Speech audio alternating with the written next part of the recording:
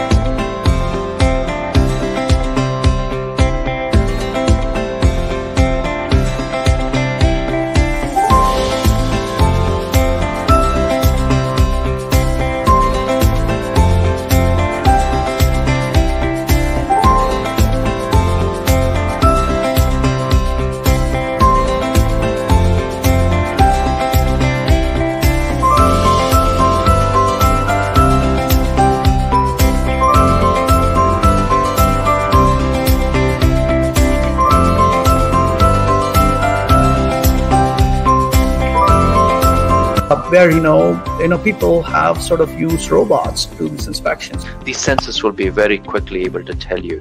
So uh, very interesting that we left it for uh, curing.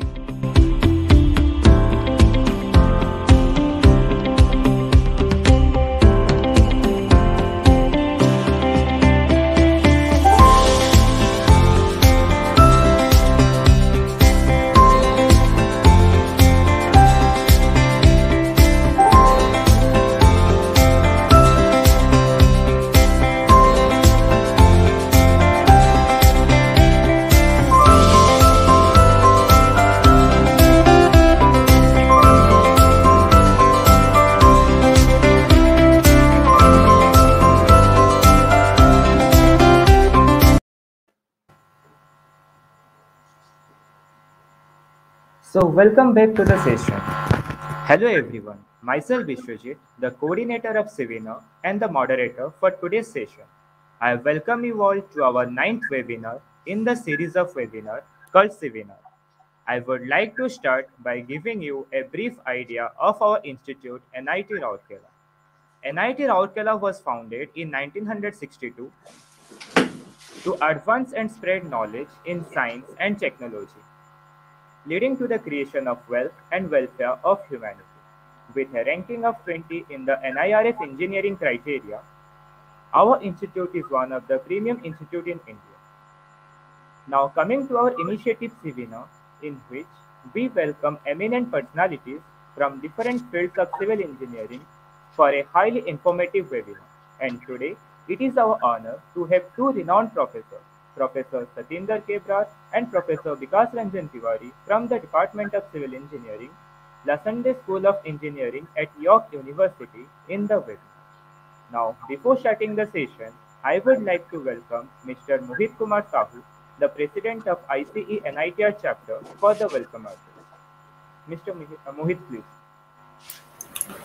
Uh, good evening, everyone. Hope you are all doing well. Uh, myself, Mohit Sahu, a pre-final year student from the Department of Civil Engineering in NIT Rourkela, and the current president of IC NITR Club. First of all, I would like to thank you all for joining this seminar and turning up for this session. Since its inception, CEST and IC have always strived to bring enlightening and insightful workshops, seminar, webinars, and talk sessions for the student community in the civil engineering field and beyond. Students aiming for higher studies have always looked forward to interesting research topics that would intrigue them and also help for the development of the society. This seminar is also uh, aiming to provide such exposure for every student out there having interest in the field of research. Today, we are fortunate enough to have an internationally recognized researcher and professor, Dr. Satinder Kaur Brar, as our speaker on academia to environmental industry transition.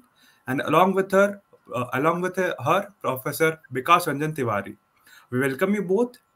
So we have also planned a question and, uh, and answer session for the audience. So stay tuned for that.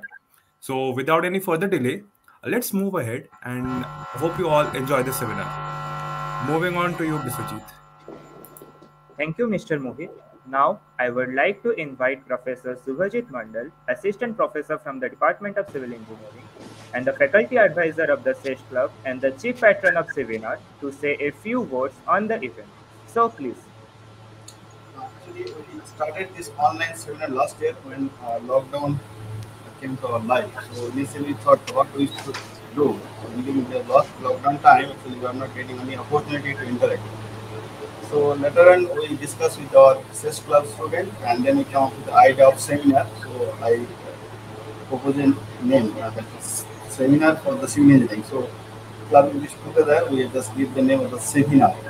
The seminar topic on that uh, civil engineering and thereafter we conducted few uh, online lectures. And, and good thing is that we are not uh, paying anything. Uh, our researchers on, on international professors uh, they are giving lectures on the research topic and without any cost. So we, we don't have any burden of that. And one more thing our student basically you can see that uh, this all the things is conducted by our BTech students so I also encourage our BTech students to go for higher studies. So in this way, we are interacting with uh, more researchers uh, on India wise, as well as uh, basically asking or encouraging our students to go for the research. So I hope uh, this seminar will help all the students uh, who are willing to go for PhD and higher studies. So uh, before going to uh, more details, uh, I'm just handing over the session to our professors. Please, uh, set the for this. Uh, you just take the session.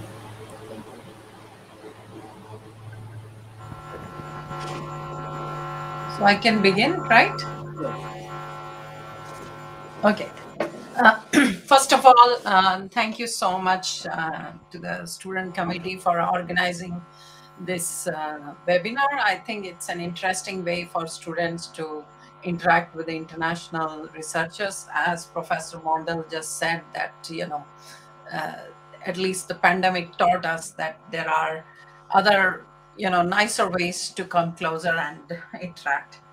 So without much ado, I can start my presentation, uh, which is on academia to environmental industry. So I wanted to keep this presentation more on how research can, you know, take its wings and then have uh, find its way to the field application and find its way to the industry.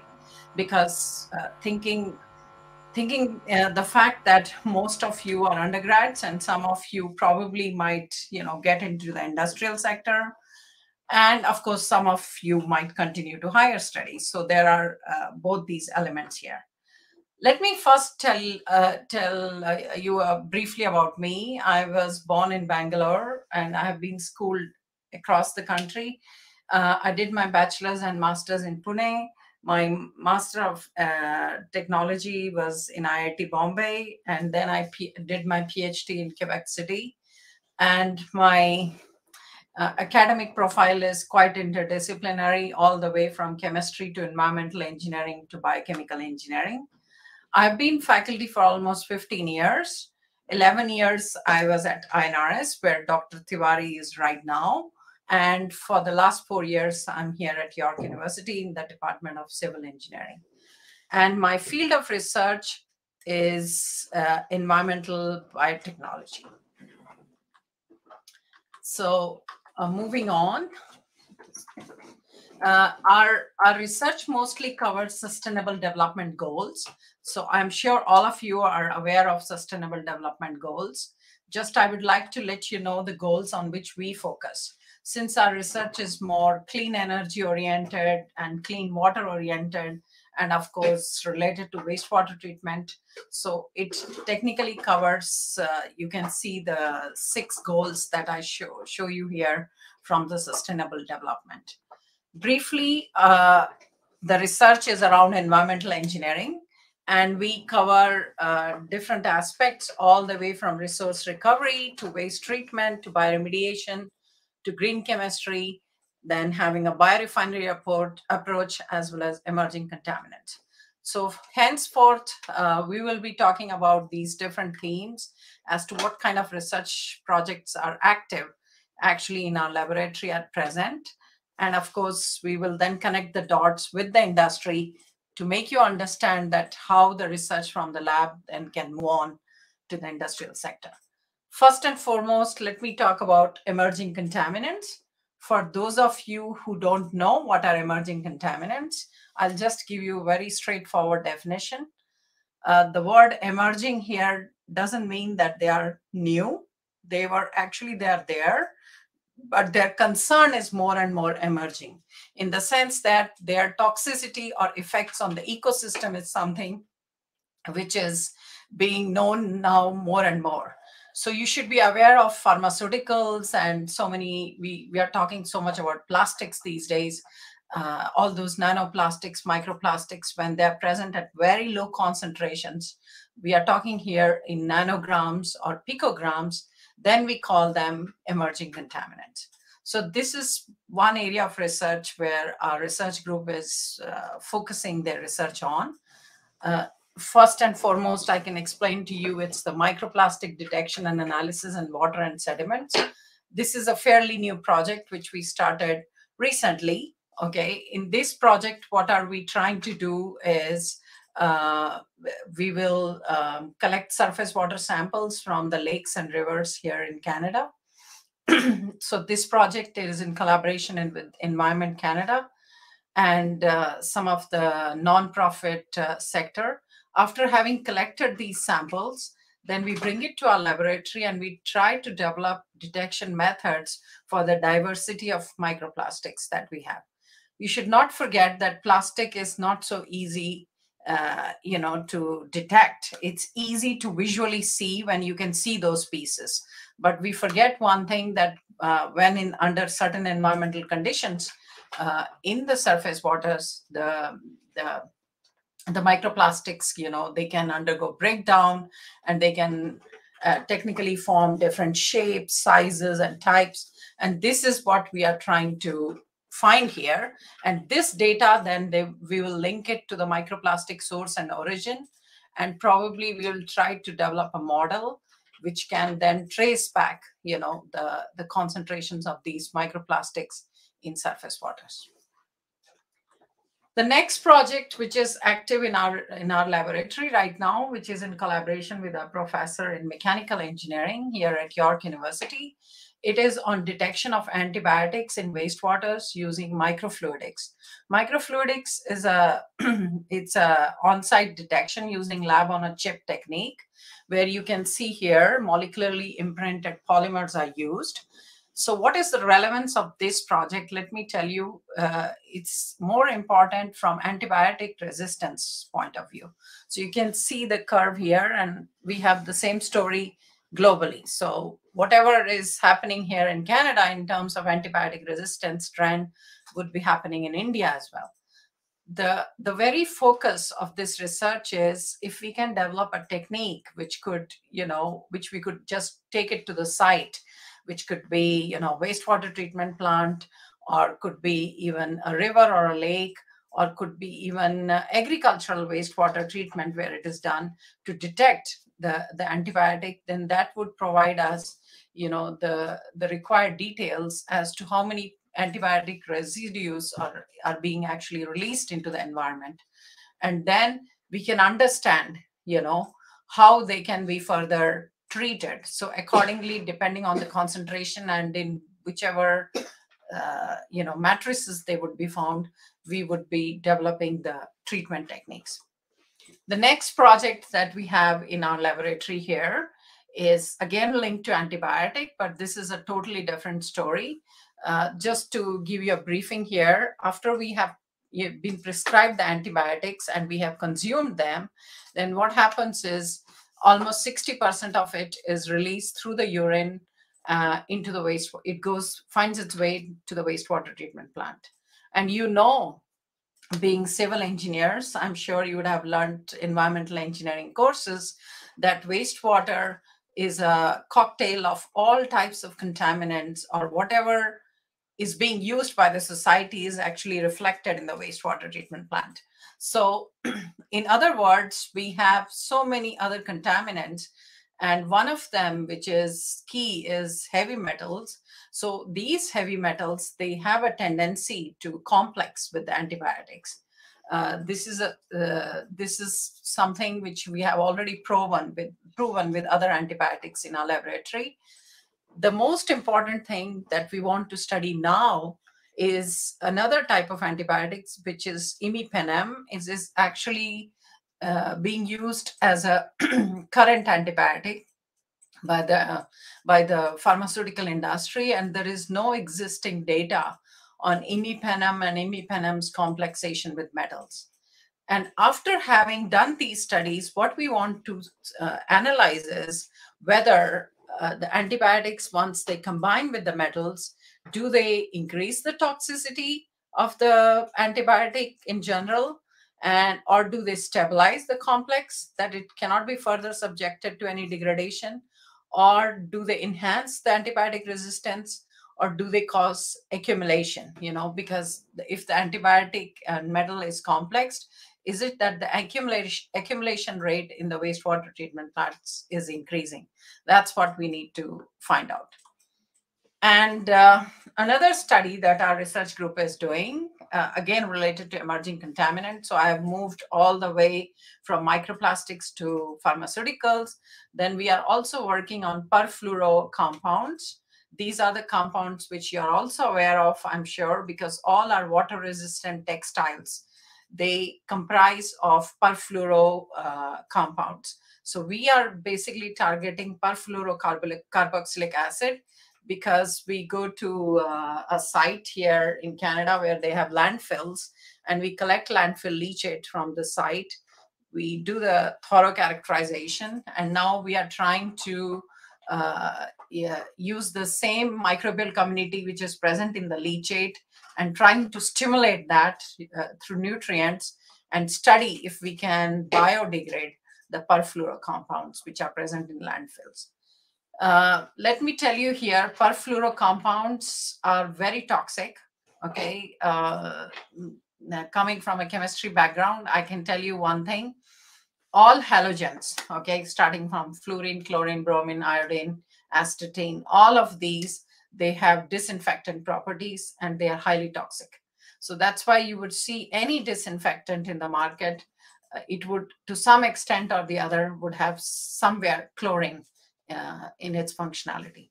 So this is an important study because if we are able to enrich the communities which are present in the landfill leachates, then probably we can work around, you know, uh, some technologies for the landfill sites uh, to degrade these uh, compounds. Now, moving on from the uh, emerging contaminants to another topic which we work on in our laboratory is green chemistry. Okay, so green chemistry uh, technically means sustainable chemistry that is trying to use uh, uh, less solvents and trying to reduce the amount of waste, trying to reduce the amount the amount of uh, side products that we would get in a reaction. This is how green chemistry function functions. The first project uh, that we have, it is with industry here in Canada, is uh, of course this was a COVID-related project all of you know that during COVID, how much sanitizer has been used by all of us. And now I'm linking that back to antibiotic resistance. You know that too much of utilization of those sanitizers, especially alcohol based on your hand, can rip your hand off the beneficial bacteria. And this could actually lead to antibiotic resistance to some extent, which is, of course, a topic to be explored and uh, I have some of my colleagues in biology who are actually working on related topics.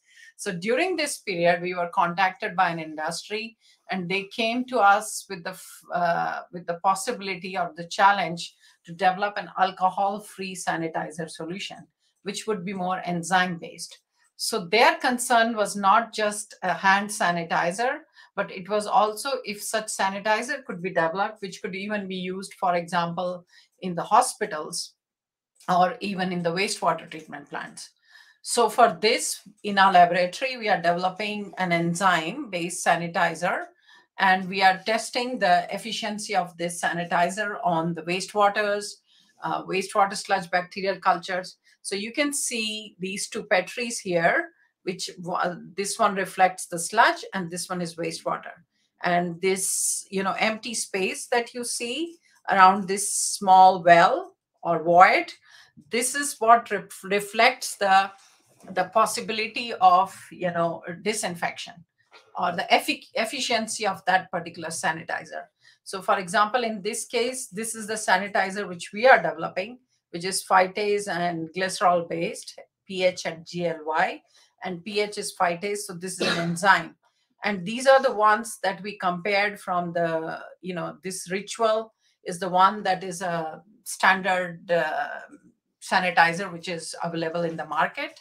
And the silver and copper nanoparticle based sanitizer is also something which is available in the market, which was used for comparison. So this study is relatively straightforward. Uh, you can say we are optimizing the formulation.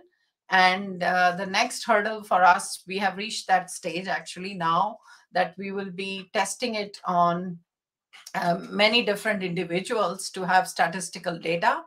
And eventually, the plan is now to understand how we can register this in Canada. Because do not forget, any of these uh, sanitizers or disinfectants, uh, at least here in Canada, we have rigorous rules. You know, you have to pass through Health Canada and everything. So there are some requirements and guidelines, and that may take a year to two years to actually register this product. The next project that we have in green chemistry is related to mining sector because we have a lot of mines here in Canada. So here uh, uh, in this uh, mining, which is a gold recovery mining, okay, it's a gold mine. Uh, they are uh, uh, they want to understand if there is a possibility of biomining, you know, of the refractory gold ores. So technically, they want to know if biooxidation is possible. So we have a student, a PhD student, again working on this biooxidation. So this is what is the approach that we have, you know, uh, proposed to them, where we will have this ferric-rich stream, that is the stream coming out from the gold gold mine, and then we have this biooxidation reactor where we have these different probes for measuring different process parameters and of course the uh, for us the iron 2 uh, the most important is that the microorganisms should use iron 2 and reduce it over a period of time. So this is what was already proven in our lab. Now the next study that we are doing is a semi-pilot experiment for HEAP reactor where we have series of columns in parallel. You can see here. So it's the same biooxidation reactor but in parallel and we are trying to see if the same type of uh, you know recovery would be reported here as well as we reported earlier when we carried out you know the the batch reactor uh, system. Likewise we have a plan also for moving on from microorganisms to enzymes if that could be done in this case. So in other words you can say uh, you know our research is mostly uh, circular economy based. So we start from a waste and then we are trying to produce different value added products. And then they go back to the agriculture soil or to the soil. And then, then what happens is, you know, it can be recycled back. So the biorefinery that we have here is sort of a future bioeconomy uh, that we are proving in our uh, laboratory, where we use lignocellulosic uh, material uh, you know, as the basis. Lignocellulosic is something which has lignin and cellulose. So lignin and cellulose, for example, you will have lignin and cellulose, which is mostly present in, uh, you can say, for example, rice husk or wheat straw. Uh, all these uh, or forestry residues, they have lignocellulosic materials. Okay. So lignocellulosic materials can be used for a different paraphernalia of products, okay? All the way, all the way from lipids to biofuels to bioelectricity, enzymes, biochemicals. And uh, we have touched on a few of these uh, products in our laboratory. Here, I'm giving you the example of, um, you know, where we used lignin. Lignin is the toughest actually to convert to a high value product.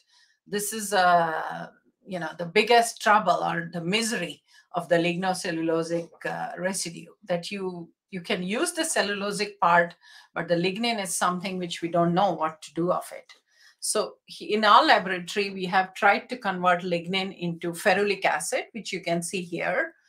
And I don't want you to get into the nitty gritties of this uh, acid here, but just to let you know that ferulic acid has a high market value.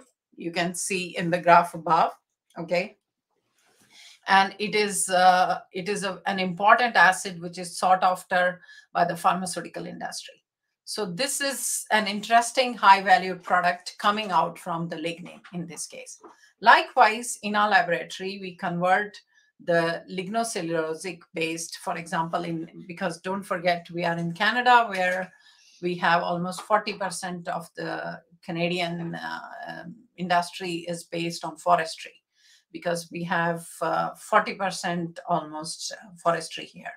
So here, what we do is we bring the residues from that forestry industry.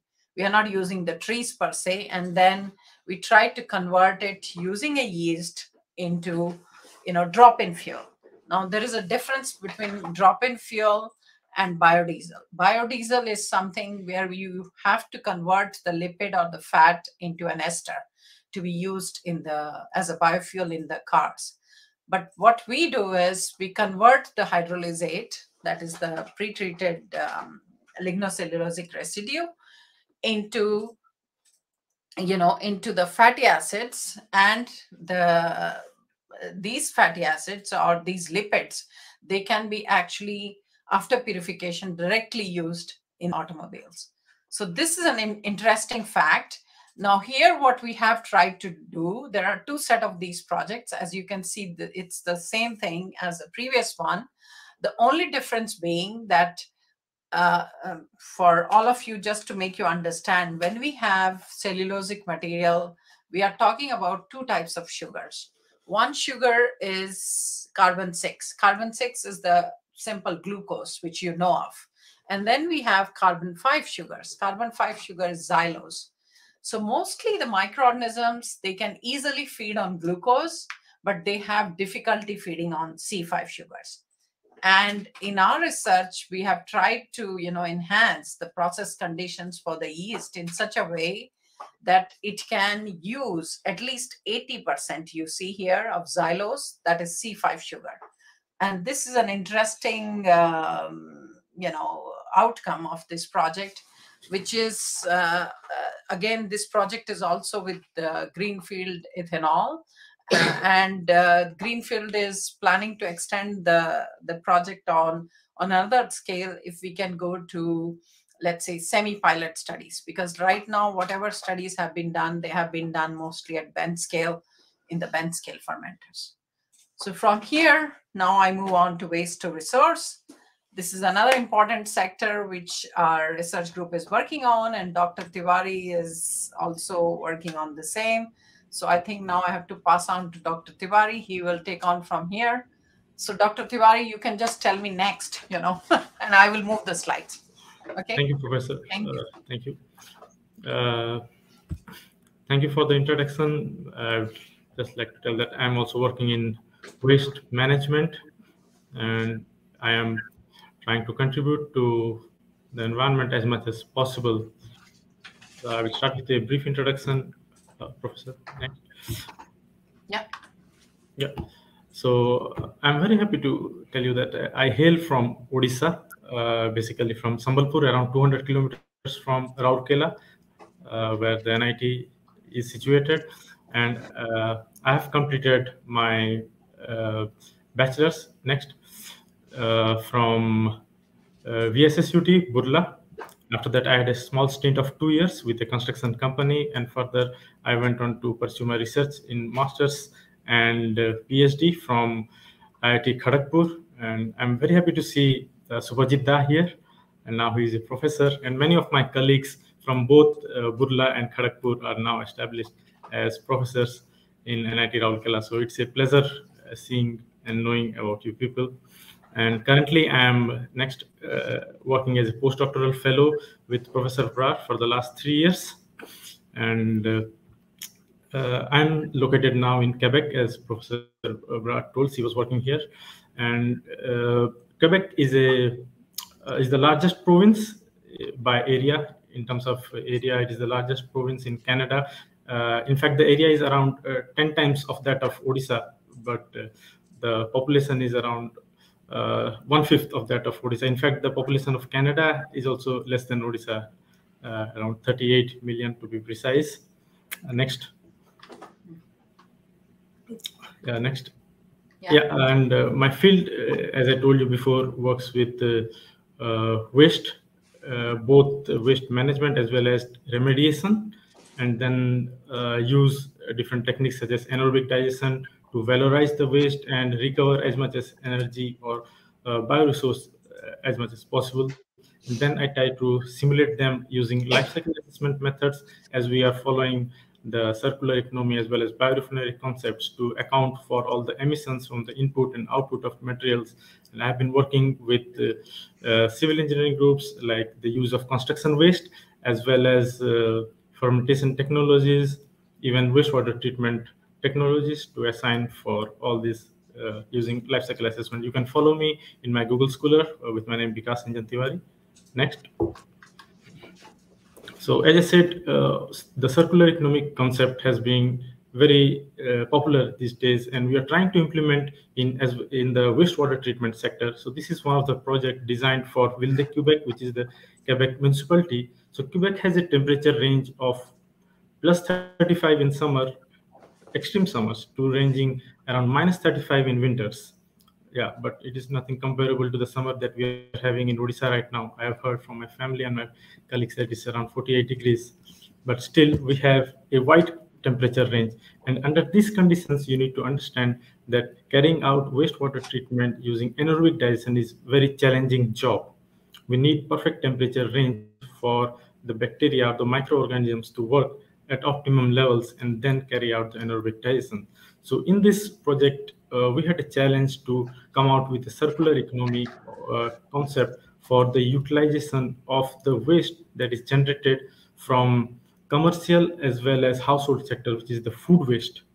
The normal process is to use anaerobic digestion for the waste treatment as well as generation of biogas. So what we try to do is to include a part of the biogas to generate heat and power from the uh, common heat and power plant and then use it for the operation of the anaerobic digester. I would just like to add that the anaerobic digestion that is being carried out in uh, Quebec is thermophilic around the temperature range of plus 60 degrees centigrade. So when you see throughout the year, it is quite a energy consuming need.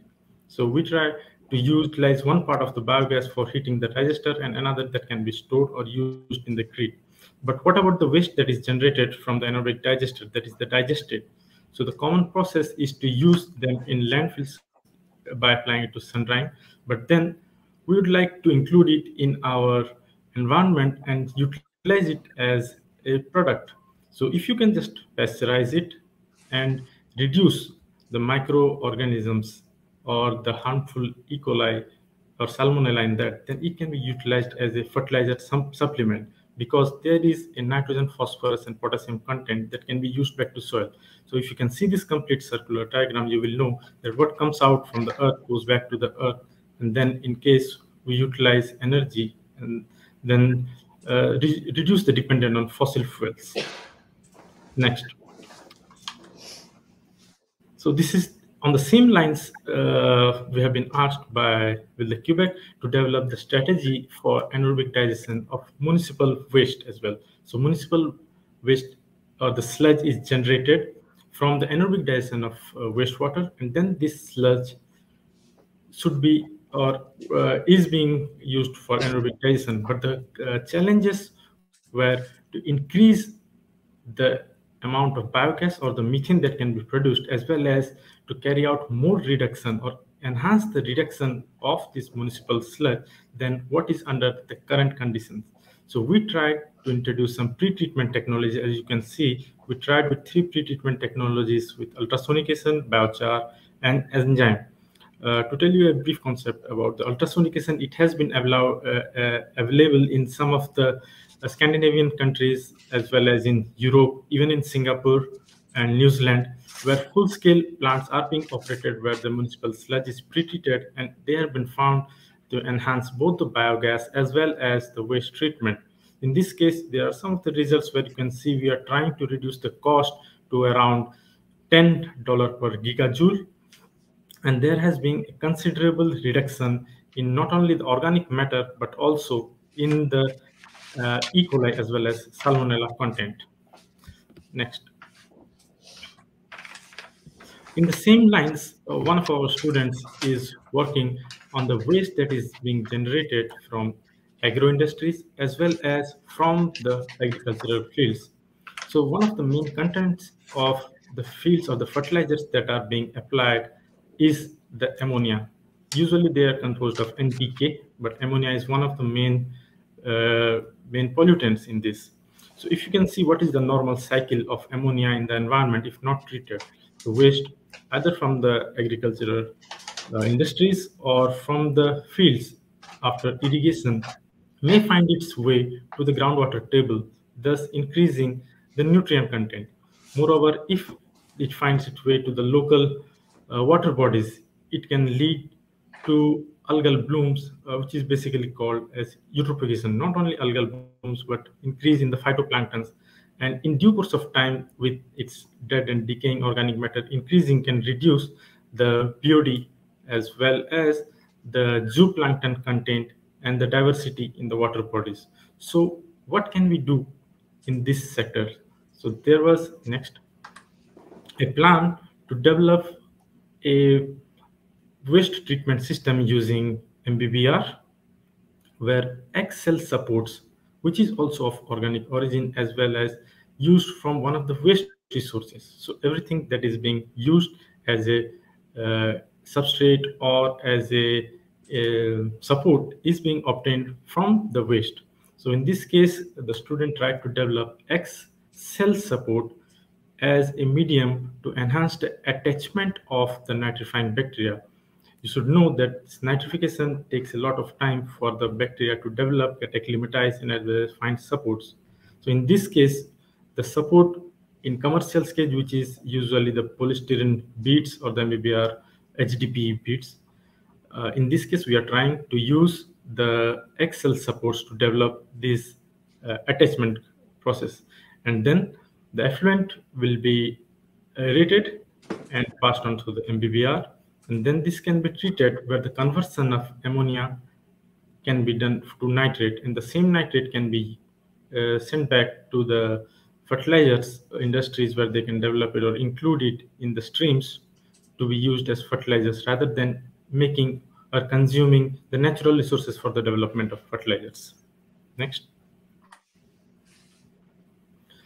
In line of this circular economy and the waste uh, recovery as well as uh, sorry waste uh, waste use as well as recovery of bioresources. One of the projects we have been working is from the use of whey, which is a waste from the milk industry. Where as a you can see, it's written that around 10 kg of milk when converted to 1 kg of cheese can generate 9 kg of whey. So whey is also a protein supplement used by a lot of uh, a lot of people but there is a possibility of utilizing this whey if you can transfer it through proper channels to be used as a food flavor. So in this project which was developed the transformation of whey to 2-phenyl ethanol was carried out by the fermentation Uh, in yeast fermentation with yeast and it was successfully successfully found that not only this byproduct was developed which was around the productivity is four times higher than that is reported in literature, but also the organic matter content reduced. And in this process, we have been utilizing the brewer spent yeast, which is also obtained as a waste from the brewer industry. Next. So it's uh, as I said, I also work on bioremediation. You know that somebody's waste is somebody's feed so if you can just find the proper channel, the proper pathway to transform the waste to somebody's feed, he can give it back to the environment, maybe to humans. Next. On the lines of bioremediation, some of the main uh, contaminants we are dealing in today's time is the oil spills or the hydrocarbon spills. And in these hydrocarbon spills, we found four different compounds which are persistent, that is BTEX, known as BTEX or the benzene, toluene, ethyl benzene, and xylene. In common processes, they are being tried with different chemical methods to degrade them. But if we can find some ways to utilize the biochemical processes or the microorganisms into this account, then it will be easy as well as eco-friendly. In the same concept, as I mentioned before, even the temperature around Canada is cold, but you need to activate the enzymes as well as the microorganisms so that they will be having a kinetics which is useful in degrading these substrates. In this case, we are trying to utilize the heat that is available below the ground or otherwise known as geothermal heat.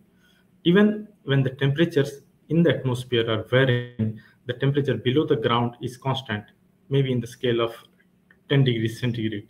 So this temperature has been used for uh, heating, ventilation, air conditioning.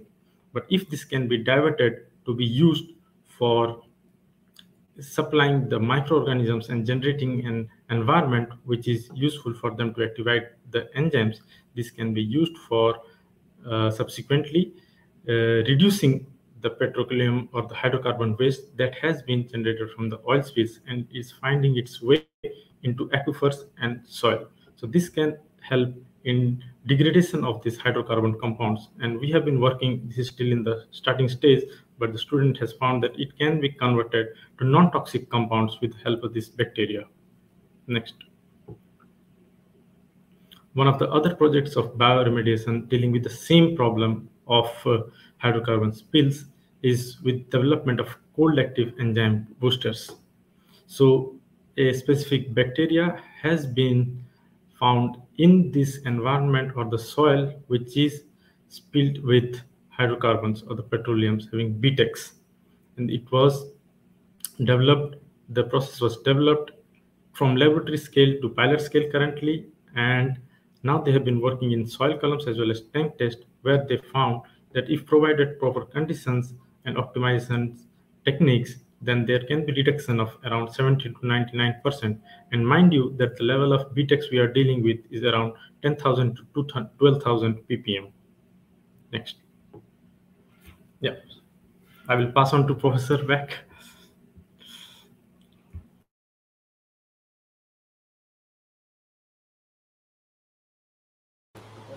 Professor, you are muted. Why am I muted? Because I didn't mute myself. I didn't. Uh, you're back. I'm back. okay. So just one second. Is it okay? Now it's visible again? The slide? Hello? Yes, Professor. Yes. Yeah, okay. Thanks. So uh, I, what I was saying is that you have had brief insight into the diverse kind of research that we do in our group, uh, which is exciting. Being in environmental engineering, you can touch on so many different topics. You know, there are so many problems around in the environment, of course, all created by us. So hopefully we can find solutions to at least some of them, right? Now I'm just connecting you back from there, bringing you back uh, the fact that we have been working with industry, municipalities, and uh, even governmental agencies, even not-for-profit sectors. So it has been a pleasure that uh, many of the students who have graduated from our research groups have gone into different job jobs. And let me tell you, being in the environmental field then opens up, you know, also as well many job opportunities for you. For example, you can be a patents officer in a patents office. You could be doing bioprocessing. You could be a bioprocessing engineer. Of course, you could go to environmental agencies. You could be in academia, which is a straightforward path if, you know, if somebody is following up, uh, you know, to higher studies from undergrad and then eventually doing PhD. And there are consultancies and of course, here in Canada, we also have a very, uh, and this is the same in India, I'm sure, right now, that uh, very, you know, favorable environment for entrepreneurship and spin offs. So many of these spin offs, they actually come out from universities. and this is also an exciting thing which the students uh, you know who are graduating can find and uh, it's my pleasure to present many of these students who have graduated and they, you know they went into all these different positions here in canada as well as abroad. So uh, what i want to tell you with this is that uh, the job opportunity is always there. You just have to follow the path which you're following very sincerely and uh, rest follows but you have to always stay focused on your uh, on your path you know.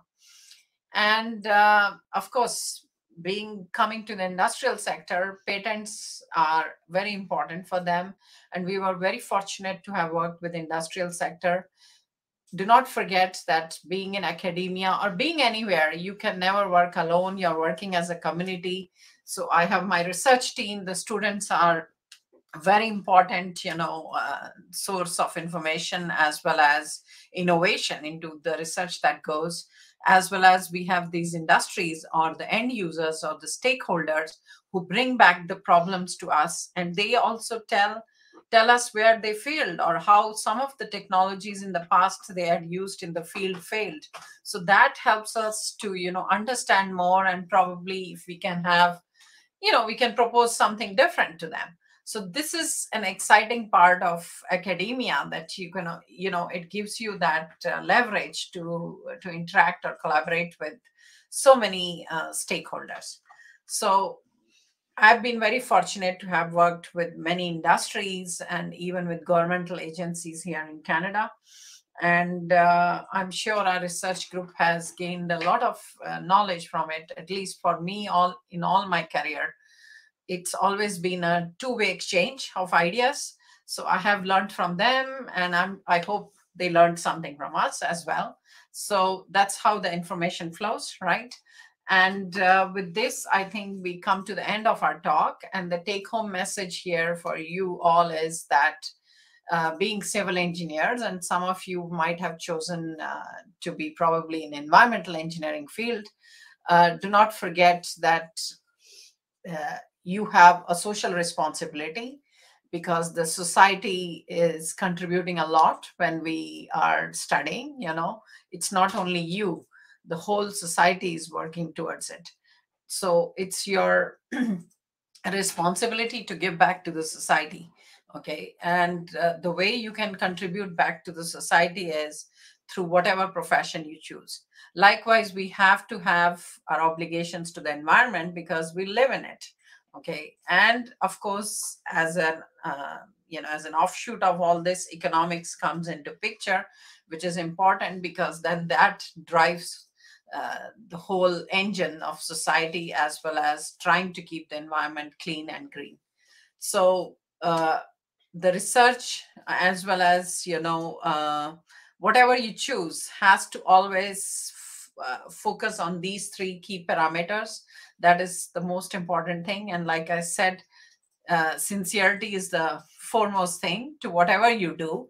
It doesn't matter. It has to be academia but can be anything industrial consultancy etc so with this i would for example on my side like to thank a wonderful research team that i've had in the past that i have currently who have contributed to all this mass of knowledge that we uh, we could generate in our research group it's so exciting to work uh, with uh, with you know students coming from different cultural backgrounds as well because that teaches you something more culturally about them.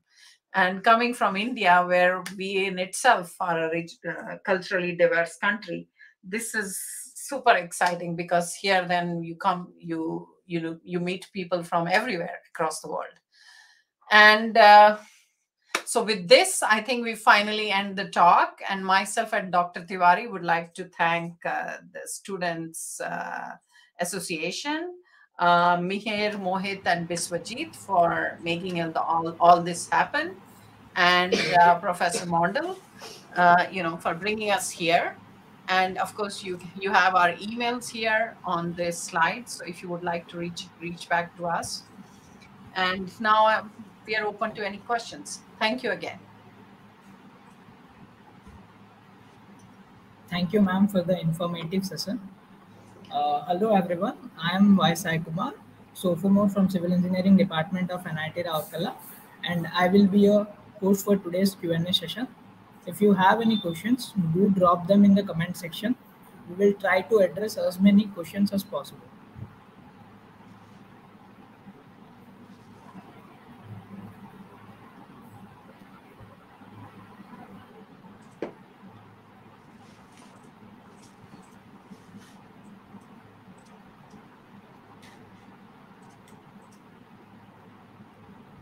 So I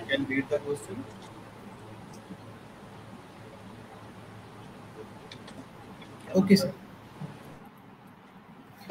So, uh, yeah, uh, our first question is from Vinayak Agarwal. Uh, as the current temperature is increasing very rapidly and India recorded its highest temperature in this decade, so what is the major reason? Okay. See, climate change is happening everywhere, right? It's not just happening in India. So climate change is reason, but I think I will talk from Indian perspective, coming from India, and as far as I can understand India, I think we have, uh, of course, we have reason for that as well. Uh, India is such a populated country, so deforestation rate is pretty high. You know, I think I rarely see how much is percentage is the forestation right now. Can anybody tell me in India how much forests we have? Yes. Do you know how much forest we have in India right now? No? Come on, you guys are in India. you don't know how much forest we have left? Anybody? Yes? How much forest? You can type it as well there. You don't have to tell me. Well, it shows now uh, around seven, seven, seven million square kilometers, around 24.62 uh, total geographical Yeah. area. That's nothing, right? So, uh, unfortunately, uh, I, I, I I had a colleague uh, who, who was doing data on forestry in India, you know, way back in 2000. And I came to know from him that uh, it, in India, the forests are declining at exponential rate. Every 10 years, it, it's exponential, you know. it's so that is, uh, I think that is the reason for the localized increase in temperatures, if you would ask me. But climate change is the baseline for everywhere. So I think we cannot blame it on climate change entirely. That this is my personal opinion again, okay? Because people who are climate change oriented, they may not like this statement probably. But I think in India, having forests is very important. Trees, I mean to say, not forests necessarily. Um, like in urban environment in India, we don't have much trees. Here in Canada, even if you go to urban cities, you know, like I'm in Toronto, it's one of the biggest, it's the biggest city in Canada. Okay, number one. But we have so much trees here. So that buffers the temperature, you know. Otherwise, heat here also increases sometimes. It can go up to 35 degrees Celsius temperature. So I hope I gave you the answer, what you wanted. I don't know. Any other question?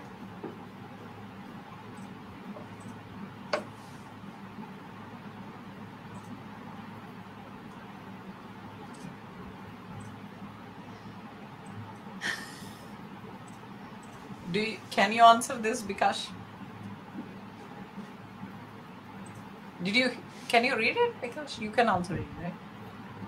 Yes, ma'am. I'm reading the second question. Yeah, from Satyajit. Uh, so, uh, yeah, the second question is from Satyajit Swain. Uh, as due to corona, the productions have been heated mostly, so the global warming had reduced significantly. But why it increased? Could you give some reasons? So, so when we uh, tell about global warming or climate change, it is a cumulative effect.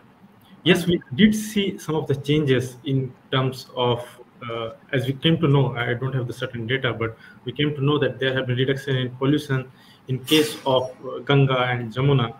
But these are point sources which were delivering to the wastewater. But you know, this uh, increase in temperature or the melting of the Antarctic ice is a gradual thing that has been happening since the last 50 years maybe. So once the balance is uh, tilted it will take more than two years maybe. Yes there has been a change. Maybe the emissions would have reduced reduced okay? But as compared to what we have generated in the last 50 years i think it will be difficult to take it back in two years or and i would like to tell that not every industry or every pollution generating source stopped. Life didn't stop yes we have been trying to restrict us. That is true. And there has been maybe vehicular movement has reduced. But you know uh, i would like to see the statistics for the generation of waste or generation of emissions. It is more from residential if you see the wastewater that is generated as compared to the industrial scale. So yes we will take we will need more than that to reduce the temperature. It's cumulative effect. It's not something that has happened in two years that can be taken back in two years thank you. Yeah.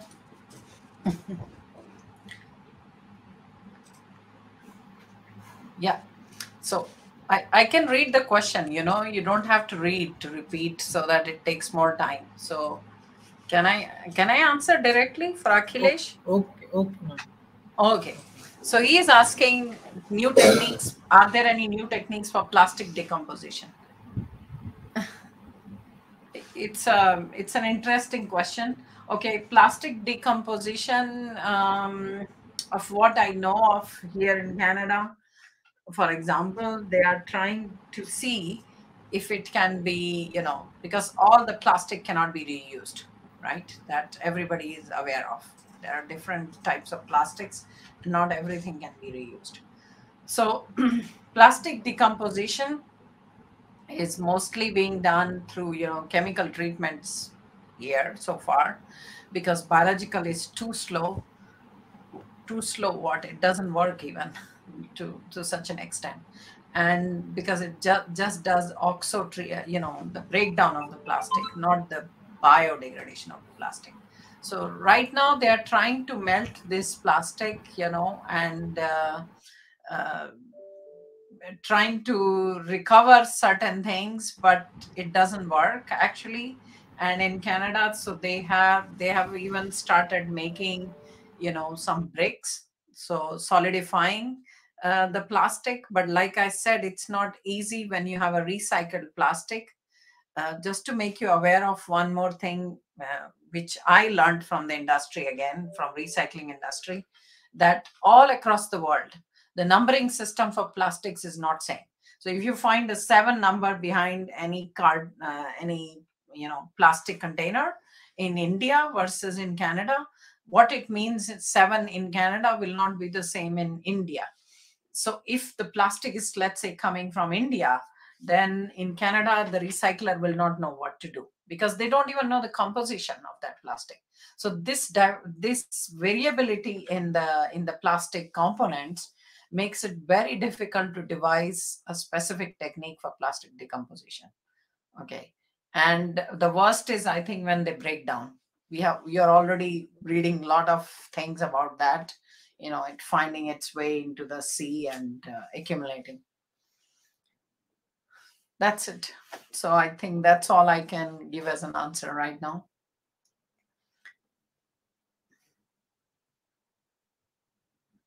Okay Biswajit. What is the role of academia in regional sustainability initiatives? I think academia can play an important role uh, because regional sus- sustainability is a very wide topic. Okay, sustainability means, you know, uh, trying to sustain with the resources that we have in a local specific area. So, uh, everybody who is present in that area, all the way from kids uh, to your municipal planners to uh, to you, the general population, to academia, everybody plays a role. I think so. Academia, you can say, is sort of a base or a interface between these different stakeholders because people have more uh, reliance or they you know they have more uh, confidence in the academia. So probably they can then connect uh, these different stakeholders and try to bring bring the sustainability initiative in place, you know, in a more, um, what I should say, engaging manner as compared to if it would be done just by single uh, single body so talking about sustainability for example here in canada even in the elementary schools you know they do some projects with children around plastics to explain to them that plastics are detrimental. So you can understand that the child is very keen and curious and the child will take that information back home and this would be then shared with the family. So that is also an interesting role model for sustainability in that particular region. So i hope i answered. This is a very wide question so i'm sorry i just tried to take one example and explain. So is it okay? Yes. Sorry. any other question?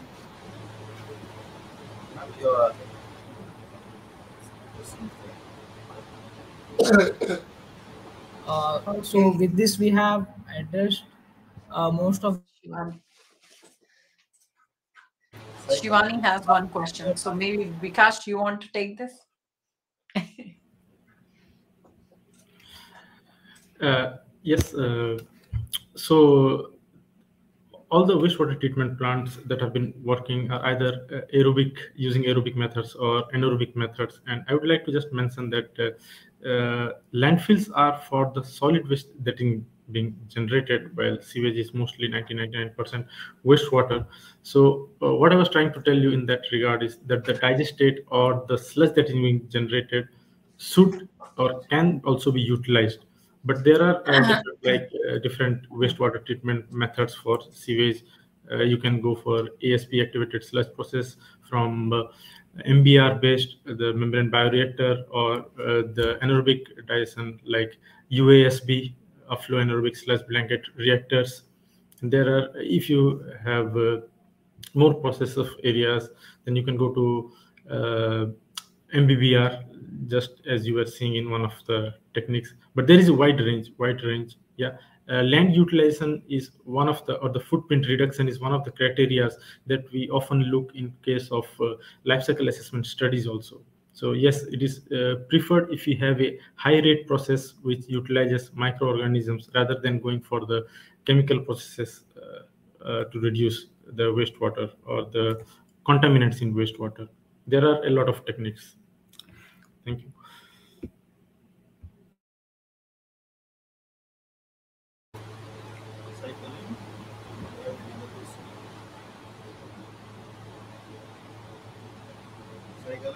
Uh, with this, uh, we have addressed most of the questions possible in time.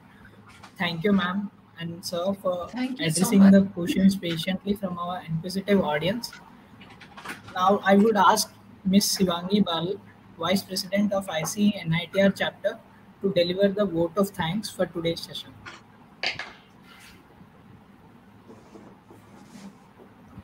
Hello everyone, this is Shivangi Baral, currently in pre-final year in the Department of Civil Engineering and also the Vice President of IC UK NITR chapter. Let me start by saying how grateful we are to Dr. Satinder Kaur and Dr. Vikas Ranjan Tiwari for taking their precious time and effort to deliver this webinar on academia to environmental industry. I'm sure everything you told us today will be of great use to us someday. I would also like to thank Professor Subhajit Mandal for gracing the event with his presence. I would like to thank NITR SAC for giving us this chance and such constant encouragement to do such events, which help us grow and develop. And of course, the webinar would not be complete without the lovely audience. Thus, I would like to thank you all for attending and making it a success. Last but not least, I thank the organizing team for this event who put tireless hours into making this event possible and seeing it through. Thank you all for turning up for the session. We hope all of you are keeping safe and doing well. We'll have more such interesting sessions in upcoming days, so stay tuned. You can also go through our channel and subscribe it. And for any further updates, kindly check cestnitr.tech. Thank you. Thank you. Bye. thank you thanks a lot